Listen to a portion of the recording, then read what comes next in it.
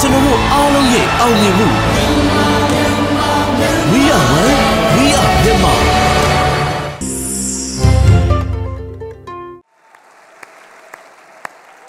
And I'm just glad that everyone in this room အော်တိုဘာလ17ရက်နေ့ကကယ်လီဖိုးနီးယားစန်တာမိုနီကာကပရိုက်တာပွဲတစ်ခုမှာဂျွန်ပလက်နဲ့အတူဂီတကဏ္ဍမှာအောင်ပွဲခံသူတွေတဲ့ဘီယွန်ဆေနဲ့ဂျေဇီတို့လည်းပါဝင်ပါတယ်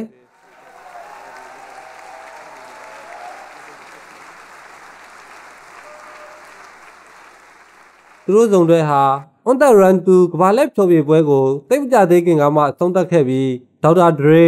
ဖရဲဝီလီယံနဲ့တင်ပါလန်တို့ပါဝင်တဲ့လူအုပ်ကြီးနဲ့အတူဝါနာ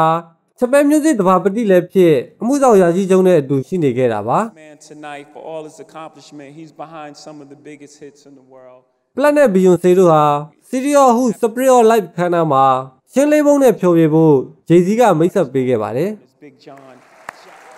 And I'm just glad that everyone in this room ဒီအခန်းထဲမှာရှိတဲ့လူတိုင်းဟာအတိအမှတ်ပြုဖို့နဲ့သူ့ရဲ့ထူးချွန်ပြီးပြောင်မြောက်မှုတွေအတွက်ဒီလူကိုအထူးတန်ဖိုးထားကြလို့ကျွန်တော်ဝမ်းသာပါတယ်။သူဟာကမ္ဘာပေါ်မှာတချို့အကြီးမားဆုံးအောင်မြင်မှုတွေရဲ့နောက်ကွယ်မှာရှိနေပါတယ်။သူကတော့အမှုပညာရှင် Big John လို့သိကြတဲ့ John Platt ပါ။ John Platt.